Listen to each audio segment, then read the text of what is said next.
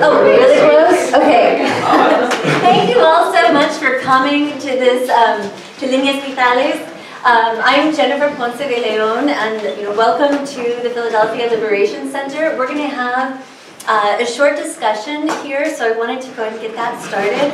And um, before starting, I just wanted to mention that there is merch in the back that you are encouraged to check out. And also, if you'd like to donate to the Liberation Center, you can also do that here in the back of the room. Um, so, as I said, I'm Jennifer. I'm a professor at the University of Pennsylvania and writer, and I most of my work focuses on leftist art and art that's part of leftist social movements.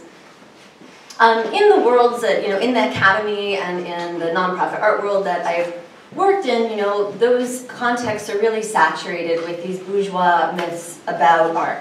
Um, like the idea that art occupies some separate realm um, from the rest of the social world, or that the most it could offer us would be a kind of space for the free play of the imagination that is unencumbered by the material realities that we face in daily life, right? And I think one of the reasons why this ideological understanding of art is so pervasive in capitalist culture is that one of the things it does is it obscures the use that ruling classes have always made of art to secure and legitimate their power. When people ask if art can really affect the world, I think, well, if it couldn't, why is it that the ruling class is so interested in controlling it, right? Why did they use it to stoke nationalism and sell wars? Now they produce movies with billion dollar budgets to sell the idea that the only possible source of salvation must come through the divine intervention of heavily armored vigilantes or benevolent CIA officers. But instead, you know, as historical materialists, we understand that art, like other aspects of culture, is a site and weapon of class struggle. Because artworks shape our consciousness, they are always implicated in ideological struggles that precede and exceed any given work of art. So ideology actively shapes our consciousness. It shapes the way we think and perceive by forging collective worlds of sense that make sense. And by make sense, I mean provide for a kind of practical consciousness that allows us to navigate the world, but that is nonetheless incoherent and contradictory. Um, th this contradictory consciousness is what the Italian communist philosopher Antonio Gramsci refers to as common sense, when he talks about how we are products of the historical process that has deposited in us an infinity of traces without leaving an inventory. And Gramsci ju juxtaposes this idea of common sense to the need for developing what he calls good sense. And good sense is a critical consciousness and a coherent understanding of social reality, its contradictions, and the forces affecting its development. Socialist art can cultivate this kind of good sense. I think this is what the communist writer um, Bertolt Brecht meant when he wrote that socialist art should not only help us see differently, but see correctly. And he made clear that what is at stake in helping people correctly understand reality is helping them know how to act. Now there's a common critique of this argument that consists in saying, um, what gives the artist the authority to know what is correct? Isn't this saying that the artist or intellectual has a superior position to their audience? But this critique assumes an individual proprietary understanding of knowledge, which is very much cultivated by liberal ideology and modern regimes of intellectual property. But Marxists, of course, understand that knowledge is collectively produced, as are the techniques and forms for its communication. Therefore, some artists are able to contribute more correct analyses of reality precisely because they are part of movements or parties that are generating this knowledge and also creating conditions for it to be received as knowledge. Now, I also want to note here that the insistence that art should help people understand the contradictions and forces shaping reality is not a prescri prescription for a certain aesthetic style or a, a, a particular form. The artistic means to help people see correctly must be chosen or invented based on the needs of the struggle at hand. And we can see this in the, so the, history of socialist art in Cuba, which has always been characterized by its openness to experimentation and its wide range of styles. And as Brecht argued, stylistic innovation in socialist art has a political purpose. He argues that artistic forms must be dynamic because reality is dynamic, and some forms lose their effectiveness as situations change. Now, bourgeois ideology also works to isolate individual artworks from the institutionalized structures in which they are produced, and to cast artists as paradigmatically free subjects, rather than acknowledge their location within class relations and the consequences this has for their practice. This can lead to an impoverished and romantic account of the politics of art, and also can lead to a lack of appreciation for the practical challenges of producing and disseminating truly revolutionary art in capitalist societies, given that the means of cultural production are owned by our class enemies. Now, the expansion of democracy in the 20th century, of course, was accompanied not only by the growth of corporate power, but also its concentration over the means of cultural production. So when we account for this, we can see the forces working to keep artists and other intellectuals in what Che Guevara famous, famously referred to as our invisible cages. In his essay, Socialism and Man in Cuba, Che wrote brilliantly about the condition of artists under capitalism. He wrote, the superstructure imposes a kind of art in which the artist must be educated. Rebels are subdued by the machine, and only exceptional talents may create their own work. The rest become shamefaced hirelings or are crushed. Those who play by the rules of the game are showered with honors, such honors as a monkey might get for performing pirouettes. the condition is that one does not try to escape from the inv invisible cage. And of course, one of the most consequential ways the cultural apparatus shapes culture is by controlling who, or more precisely, what class or class fraction can even gain access to means of cultural production or be socially recognized as artists. So the class character of the cultural apparatus creates practical challenge for the, challenges for the production and distribution of revolutionary art within capitalist societies. And it has also spurred artists and other cultural workers in these societies to transform the very social relations of artistic production and distribution. This takes many forms, including labor struggles and contestations of property regimes within cultural institutions. And in other cases, cultural workers create alternative ways of producing and disseminating art that are not controlled by the bourgeois cultural apparatus this very exhibition and the institutions that have organized it and are now hosting it are excellent examples of this kind of alternative cultural infrastructure that can support the, support the production and dissemination of knowledge and culture that has real use value for socialist struggle. In situations where workers' parties have seized control of the state, they have been able to transform the relations of cultural production in far more dramatic and wide-ranging ways. And of course, we could think here of the epic literacy campaigns carried out by the Cuban Revolution, or its creation of a formidable nationwide cultural infrastructure that democratized culture, that broke away from neocolonial cultural domination and isolation, and fostered an internationalist revolutionary culture both nationally and around the world. Culture has been at the heart of the Cuban Revolution. In 1999, Fidel famously said, quote, a revolution can only be the child of culture and ideas. Writers at the Tricontinental Institute for Social Research have explained Fidel's thinking on this topic when they argue that a revolution will never be complete or lasting if it does not give a decisive role to education and culture. It is necessary to change human beings' conditions of material life, and it is necessary to simultaneously change the human being, their conscience, paradigms, and values.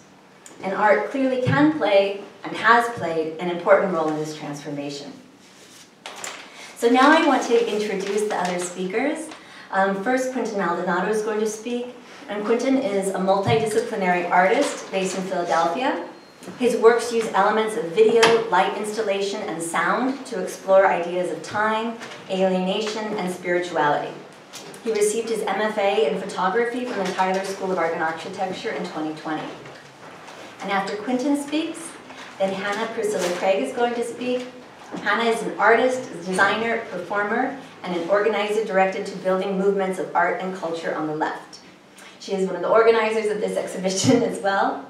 She is the art space coordinator at the People's Forum in New York and a communications strategist with the International People's Assembly, a network of over 200 trade unions, political parties, and movement organizations in every region of the world. So I'll turn it over to Quinton.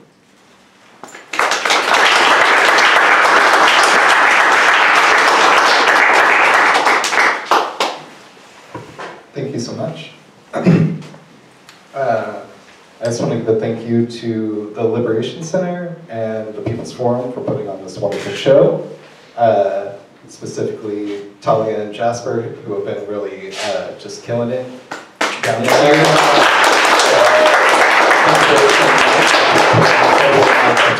Y'all have no idea what this room looked like. Well, some of you do, but oh my god, the transformation. Uh, and so, with that, I'm going to talk a little bit about my own personal practice, a little bit about uh, art uh, and my own personal experience, and what the possibility of like, I don't know, creative production or creative expression under socialism uh, has the potential to be. And so, uh, as was stated, I got my MFA in photography, which is a little bit of a joke because I didn't do that much photography when I was in school. Uh, I'm primarily, let's say, more of an installation and video artist. And the thing that I really like about installation is installation gives us a sort of relationship of space, and it gives us a ability to be present. Uh, whereas the video work that I try and do oftentimes explores our relationship with technology, spirituality, um, and the ways in which those two things sometimes interlock but also uh, distance one another. And so the first note that I have here on my uh, speech is I want to talk about time and because to me, time is one of the most important parts of works that I respond to. And under capitalism, our time is highly segmented. It's rationalized into this thing that is always being consumed, it's always being used. We have, uh, come on.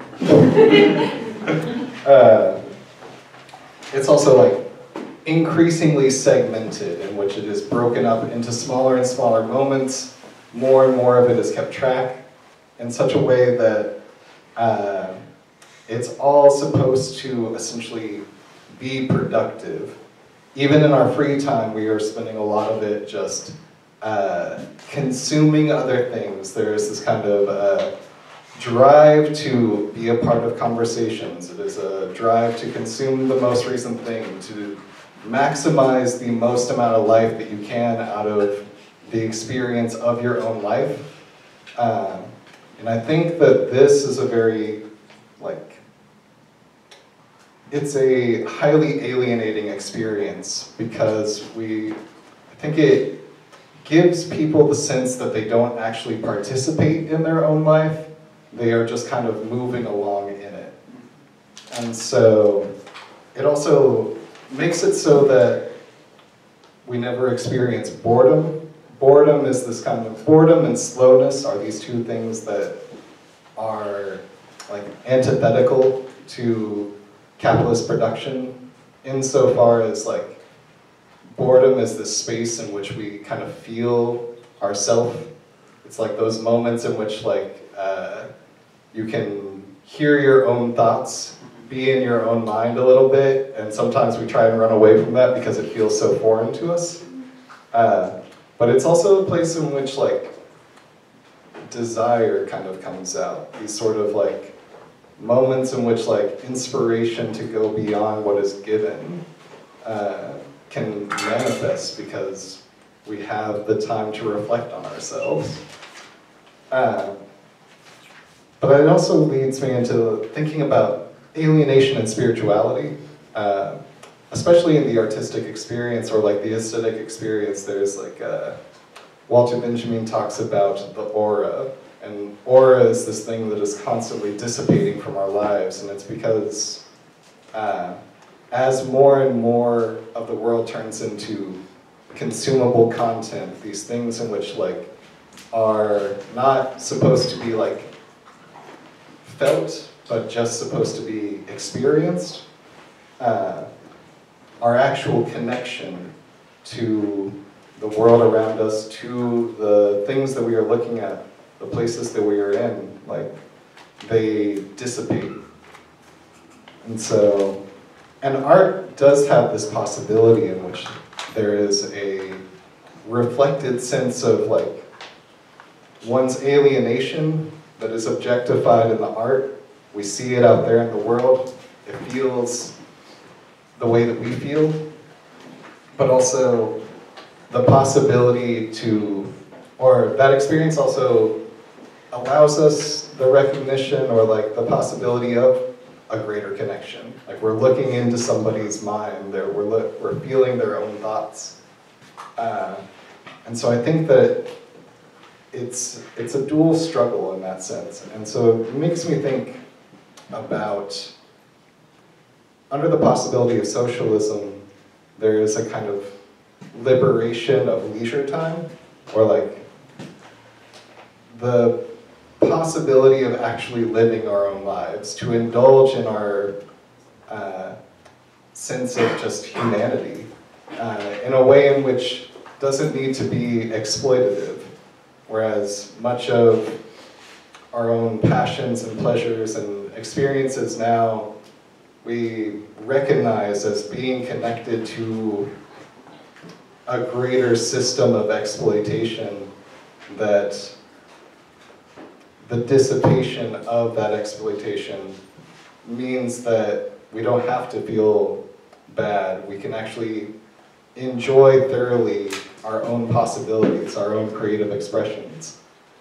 But it also uh, means the possibility of the end of art, I think. But when I say the end of art, in, in a similar way to like the end of history, as like this potential of feeling beauty in one's own life, rather than it being a thing that is experienced out there that we have recognition of but never feel inside.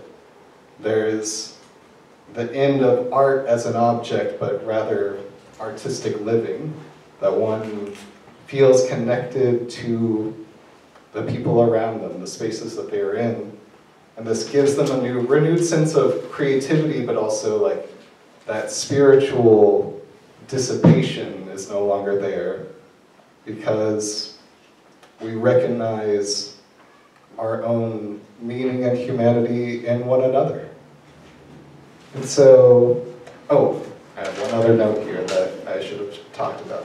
Uh, there's a lot to do about this notion of like, uh, I think, especially in our hustle and grind mindset nowadays, there is this kind of sense that uh, it's a very conservative notion of like, idle hands create sinfulness, that like, if I'm not working, if I'm not producing, if I'm not doing something, then I'm wasting. All of that energy is just like going nowhere. It's just going into the ether. It's not coming back to me in any sort of way. Um, but rather, I would want to posit that the opposite is oftentimes true. That to be able to feel yourself, to be able to express in a way that feels connected to the people around you, it opens up all new opportunities for a greater sense of connectivity. And you all of a sudden want to do those things. You feel a drive towards creation rather than this like burden of the necessity of consumption. Uh, with that, uh, I'm gonna pass it over.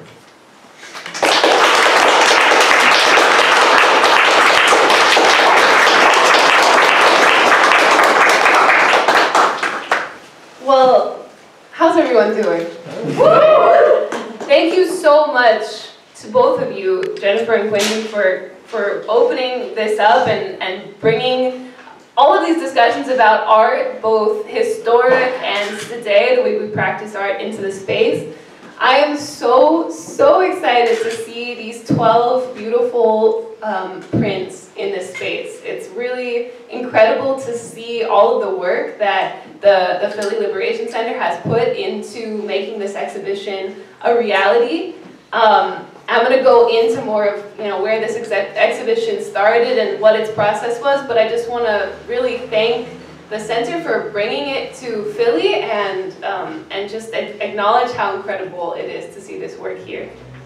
Um, and, and tonight I, I'm really excited to talk about the future actually. Um, I think that when we talk about building works of art that are connected to struggle, we're talking about building a future. We're talking about building our own future. So I want to talk a little bit about what that means, what it looks like where when we build art that is connected to our struggles, how we build it, some proposals for how we could think about the construction of art in, in our movements, and then to get into some of the specifics of vital lines and what the process was to build this exhibition. Um, but first I want to talk a little bit about art and struggle. So when we talk about art, or we think about art and culture and its relation to people's movements, we're really talking about weapons, and this is something that Jennifer mentioned as well.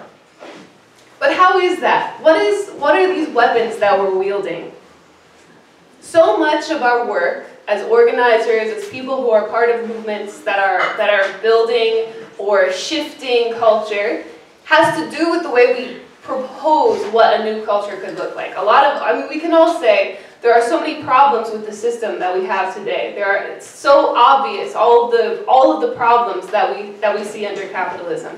But with, with uh, the production of art and culture, we can really think about how and show, show how culture, how culture can change um, and how the world can change based on how we how we show uh, uh, the world can change.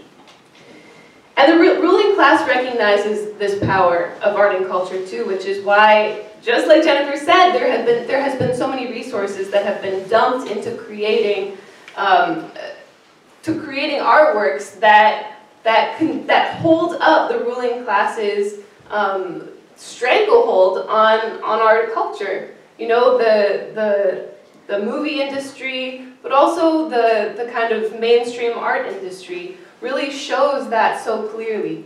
Uh, or sometimes not so clearly, and we have to dig it out a little bit, but you end up seeing, oh, okay, this is really the ruling class um, that is holding on to, to this culture. But it doesn't have to be that way, and as as people who are on the left, it's so important that we're intervening and that we use that weapon of culture to build our movements up. So I want to, in order to talk about building the future, I, I want to also look towards the past. Of course, this is part of a, Marxist method, is, is always being in the process of understanding the world around us and our, our conditions that shape um, the historic and the present reality that we're in. So I want to talk about somebody who, who did build the future in some capacity. That's Fidel Castro, who is in, of course, one of the prints that we have on the wall by Vivek Venkataraman. He said in 1998 to the Young Communist League of Cuba, ideas are not simply an instrument to build consciousness and lead people to fight, but they have become the main weapon of struggle. Of course, he was also inspired by another Cuban revolutionary, Jose Marti, who is a, a, revolutionary and a, a poet. And he said, trenches made of ideas are stronger than those made of stones. So when we talk about building and creating revolutionary art and culture, we're talking about participating in the battle of ideas, in showing um, explaining, talking, and building an idea of what the world could look like without capitalism and with socialism. So in our current moment, we have to think about how we can engage in the battle of ideas. But not only the battle of ideas, we're not, it's not only about understanding the world around us, but we also have to think about how to engage in the battle of emotions. What really makes us feel? How can we, uh, it's, it's like the feeling that you get when you're out. I think a lot of us felt this in 2020 when we're out in the streets and all of a sudden everyone starts singing at the same time. There were some amazing songs that became really popular during the uprisings of 2020. And it's that feeling that you get. It's almost like in the pit of your stomach, like you're ready to struggle and you're ready to fight and you're ready to win. And it's that, it's those, it's that emotion that we have to figure out how to um, wield as a weapon in, in the way that we're constructing our movements. So all that to say, I want to talk a little bit about the construction of Vital Lines itself. So this project um, was one that was conceived in November of 2021 to build stronger lines of solidarity, especially in cultural movements and spaces, between artists in Cuba and the US. So the project happened out of the People's Forum, which is a cultural um, and educa popular education space in New York. And we wanted to make space for artists on the left to collaborate, communicate, and meditate on themes related to the successes of the Cuban Revolution despite a six-decade-long um, strangle, strangling U.S. blockade. So we connected with six artists in Cuba who are Aldo Cruces, Aristides Torres, Greta Acosta Reyes, uh, Kalia Leon, and Carla Gomez. And six artists in the US, Andrew Nance, Carolina Vega, Ian Matchett, Kimberly Barzola, Vienna Rai, and Vivek Venkatraman to, um, to work together. So we paired these artists together, one uh, artist from the US and one artist to Cuba, in Cuba, and we asked them to collaboratively discuss the theme which was assigned to them. So those we assigned a theme to each artist pair, they were friendship, future, struggle, liberation, love, sovereignty, peace, and revolution. And then from there, we asked the artists to make their own work that was connected to the theme, but also connected with the conversations and collaboration that had happened between the artists. So we left it really open to see how artists would, would want to collaborate, if they would want to send drawings back and forth, um, or or what other, uh, what other types of ways they would want to collaborate. Um, and the results were really interesting. Some artists faced a language barrier, um, so it was, it was maybe difficult for them to communicate. Of course, the blockade also makes it really difficult to communicate um, virtually in the way that we're kind of accustomed to here. You can't call, uh, you can't have a Zoom call, for example, because Zoom is um, is blocked in Cuba. And so there are all of these sort of challenges, but despite these challenges, um, the artists were able to find ways to collaborate. Some of them sent drawings back and forth to each other as their form of collaboration. Some of them um, did, did Google translations and emailed each other back and forth. And some of them actually were able to call and talk over the phone and, and discuss these themes that they, were, um, that they were thinking about in terms of the revolution. Um, and in, in this way, even though the blockade continues to hold onto the, the and make such a horrible impact, um, the artists were able to almost like break past some aspects of the blockade that, that often keeps us um, from recognizing or understanding the real situation on the ground in Cuba. So after this collaboration happened, the individual artists produced their artworks and sent their artworks to the People's Forum where we printed their works in uh, in-house uh, in uh, as two color screen prints, which you see here in the Elizabeth Catlett Art Space and Printmaking Studio. There were there were um, 50 copies that were made, um, all completely by hand, and uh, and then all of the artists, of course, received copies of their of their works. And we had the exhibition uh, shown in the People's Forum last year, and then at uh, the People's Summit for Democracy in Los Angeles, um, which was a counter summit to Biden Summit of the Americas. And so, um, again, really excited to have these artworks in the space in Philly as well. Um, so the idea and the hope that we had with, with building this project is that it sparks um, more collaborations. We, I'm, I'm really excited to imagine all of the ways that we can envision building new kinds of, uh, of solidarity work that can happen not only in Cuba, but with other movements um, internationally, thinking about building um, art projects and works that can intervene in cultural spaces and, uh, and continue to build our movements. So with that, I want to open it up. Uh, I have a little activity that we can do together. So it's, it's not it's not an activity that you're going to be judged on or anything, but um, if people want to get into pairs, the idea is that just like the artists were paired together um, in twos, we can also think about these themes that the artists were thinking about when they were in the process of creating these works. And so the six themes that the artists were given are on that piece of paper. So with your, uh, with your partner, you can kind of think about the questions that are written there and think about the, the ways that the artworks make you think about some of these elements of the Cuban Revolution um, and, and things that stand out to you. So thank you again to, to Quinton, to Jennifer, to the whole center, to Jasper, um, to Talia for all of this incredible work and really excited to, to have the art here and to continue the conversation.